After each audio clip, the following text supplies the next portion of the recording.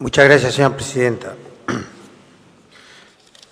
Eh, en la fecha Durazno-Mayo 17 del 2019, la Junta aprobó por unanimidad, en 23 votos en 23, la resolución número 014 barra 2019, en la cual en el punto número uno exhorta al Ejecutivo Departamental, al Ministerio, Ministerio de, el MIOTBA, a la DINAMA, al Ministerio de Salud Pública y a OCE a que prevean para el vertedero de Urano que recibe residuo de la localidad del interior como Serendil y el Carmen una rápida resolución a la problemática suscitada que sea amigable con el medio ambiente. Segundo, dicha solución que se realice respetando el marco normativo y de acuerdo a la tecnología, recursos e infraestructura adecuada y disponible con medida que contribuyan al manejo correcto de los residuos, resolviendo el problema de la basura para culminar con la contaminación y agresividad ambiental, para llevarle tranquilidad a la población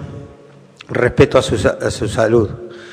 Esta resolución este, fue aprobada acá en el Pleno en 23 votos, en 23.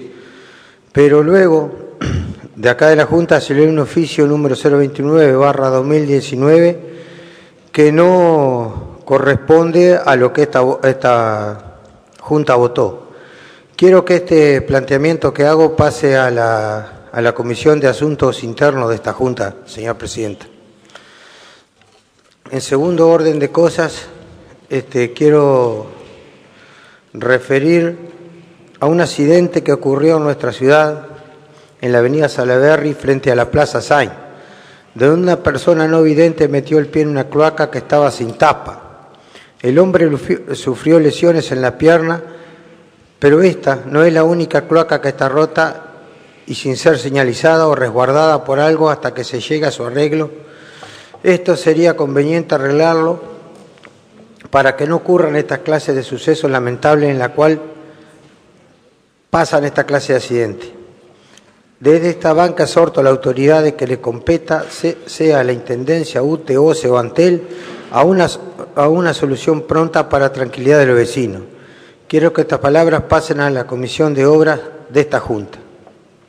En otro orden, también me quiero referir a los lugares que en verano los ciudadanos frecuenta ya sea el balneario Independencia, el Puente Viejo, la Laguna Grande, el Rebollo, el Puerto de los Barriles. Estos lugares carecen de todo servicio. Sería conveniente que encuentren con los que cuenten con los servicios que tiene la playa El Sausal y el Puente Nuevo.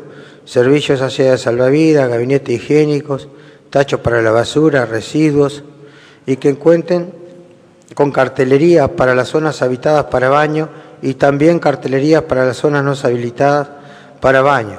Así la gente que concurre a dicha zona cuente con esa información, así estará atento a lo que les pueda pasar. No todos los ciudadanos concurren a las principales playas, parte de la población frecuenta estas zonas en verano y sería conveniente contar con este servicio para su mejor comodidad en esos días.